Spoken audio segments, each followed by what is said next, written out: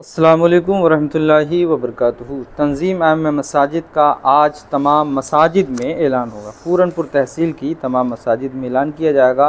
ऐलान ये है कि शादी बारात या दीगर तकरीबात में जो स्टैंडिंग खाना हो रहा है, गैर शर्य काम शादी बारात में हो रहे हैं, बेजा फजूल चीज़ें उसमें शामिल कर रखी हैं।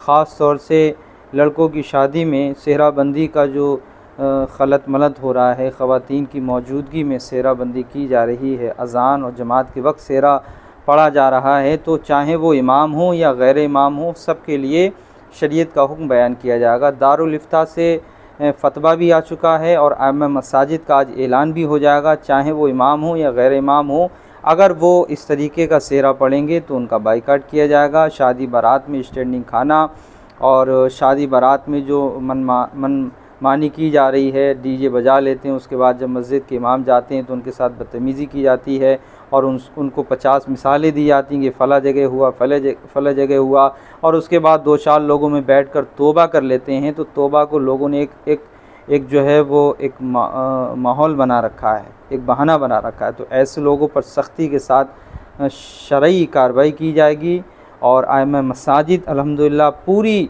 ज़िम्मेदारी के साथ पूरनपुर तहसील की काम कर रही है। किसी भी इमाम पर अगर किसी ने भी कोई नुकताचीनी की या उनके ख़िलाफ़ किसी ने बकवास की तो उस पर भी कानूनी कार्रवाई भी हो सकती है और शर्य कानूनी कार्रवाई जो होगी, उसका ऐलान मसाजिद के ज़रिए किया जाएगा। लिहाजा आज जो मस्जिद में ऐलान किया जाए, सारे लोग उस पर अमल करें और सही मानों में सबसे बेहतर कौम वो है जो अपने पेशवाओं के बताए हुए रास्ते पे चले और शरीयत का जो ऐलान हो, उस पर अमल करे।